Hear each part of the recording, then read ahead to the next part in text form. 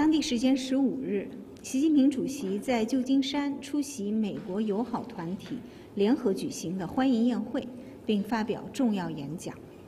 宴会开始前，习主席还会见了美国工商界及社会各界代表，以及飞虎队和史迪威将军后人、古岭、艾奥瓦州、华盛顿州等方面友好人士的代表，同他们共叙友情。习近平主席始终高度重视并支持鼓励中美民间交往，多次指出，中美关系基础在民间，希望在人民，未来在青年，活力在地方。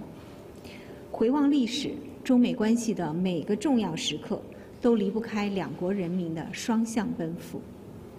二战期间，中美人民用血与火锻造了飞虎队情谊。一九七一年，小球推动大球，实现了跨越太平洋的握手。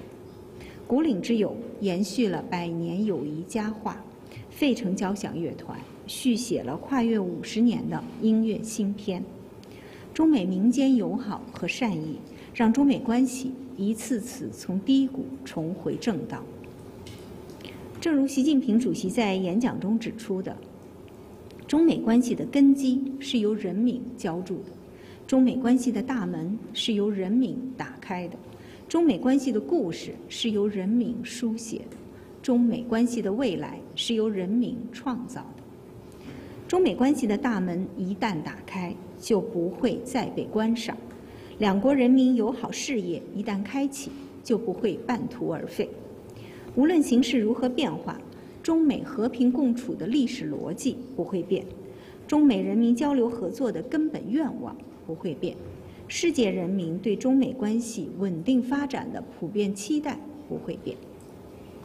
此次旧金山会晤，两国元首就便利人员往来、促进人文交流达成重要共识，将增加中美客运直航航班，举办中美旅游高层对话，优化签证申请流程。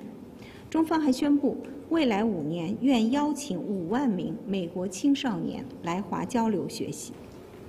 希望中美两国人民多走动、多来往、多交流，共同续写新时代中美人民友好的故事，为中美关系的发展注入新的不竭动力。